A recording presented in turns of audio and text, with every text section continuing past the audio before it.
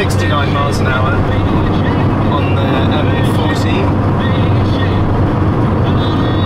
Yeah. And what's the game plan for the NEC once we're there? Uh, game plan for the NEC for output uh, this time around. Got a sort of a dual mission this time. One of them is to cover every stand on the show floor as best we can. We've got our own sort of launches happening at the show as well.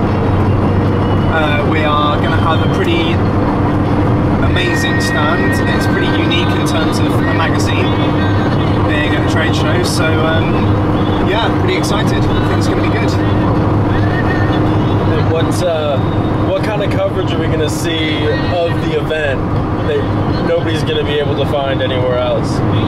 So what we do differently is that we, um, I guess the big one is video. We're going to be making our own video documentary about Sign and Digital UK this year.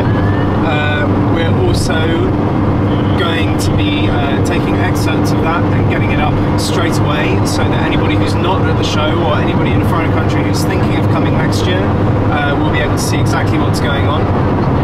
Um, maybe it'll help sway a few people who hadn't been thinking of coming to the NEC this time round. We're obviously going to have rolling news coverage. We've got the broadest editorial team on the show floor.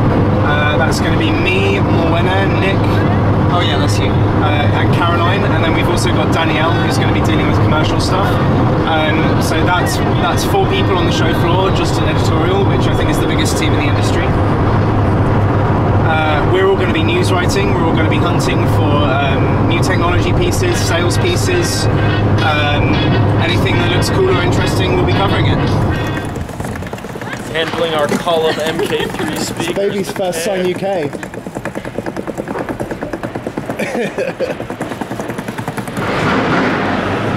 Let's do this.